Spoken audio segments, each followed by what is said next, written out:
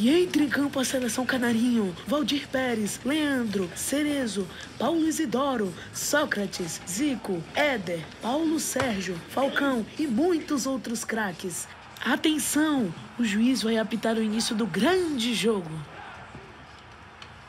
A bola é do Brasil. Falcão toca para Zico, que volta para a grande área com Toninho Cerezo.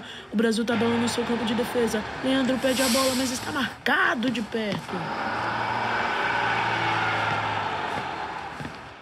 O Brasil sobe com cautela, protege a bola no meio de campo e vê quem está melhor posicionado é Sócrates, quem carrega a pelota, subindo pela lateral esquerda.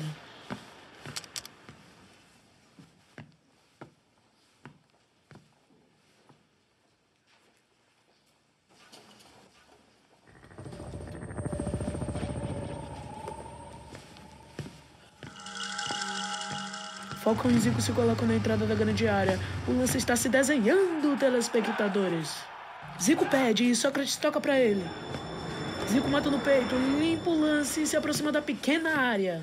Falcão observa a jogada à distância.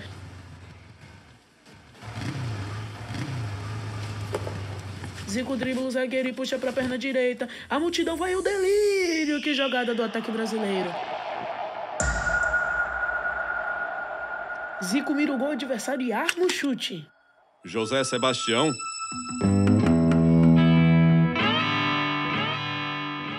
Que bomba!